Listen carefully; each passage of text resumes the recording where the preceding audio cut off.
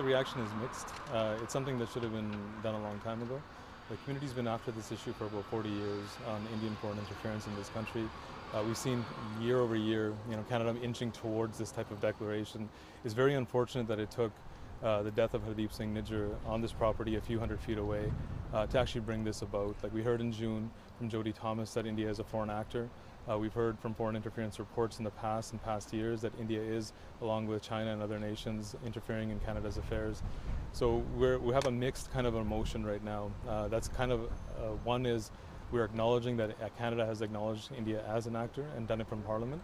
Uh, and on the other side, we're wondering what the next steps are going to be as well. So I think there's mixed feelings at the moment. How confident So are can you we have you looking could, up because you're just looking down at the ground. sorry, if you just look at these guys. Okay, the cameras are there.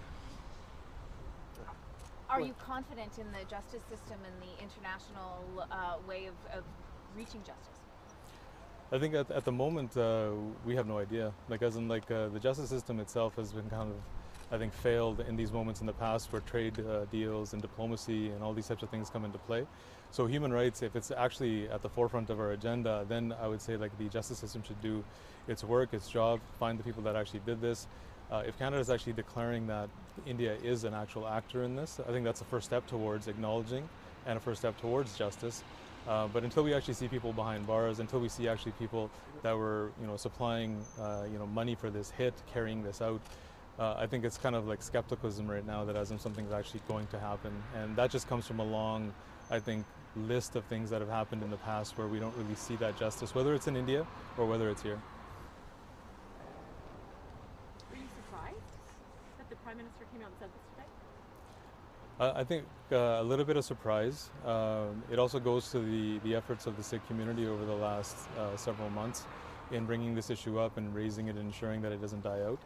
Um, I think continuously kind of raising the fact that India has actually got a hand in this. Um, so there was some level of surprise, but at the same time, um, I think it had to be acknowledged. I think we're at a point now where, with Jody Thomas and others in intelligence uh, service, are actually saying that this is a real thing. Um, the fact that Canada is, is now acknowledging it, I think, is, is the right step. And acknowledgement will then move on to actually like action and implementation of something. Uh, and we're very interested to know what that might be. Tell us again um, the importance and, and how well respected and liked Hardeep was in the community. I think the, the wave of uh, support that we saw post his death is just a small indication of how big of a stature Hardeep Singh had in the entire Sikh community internationally. Um, this thing, it shook the community across the entire world, including in Punjab. Uh, before us growing up, we always heard stories um, that, as in, like, this would happen to you if you were in Punjab, that if you spoke out against the government, that you could be tortured and killed.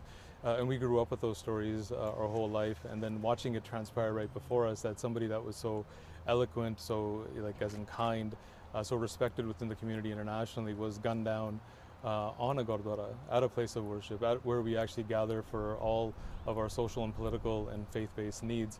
Um, it was just a deep scarring moment, I think, for the Sikh community in Canada, uh, and also for the generation of activists that's still coming.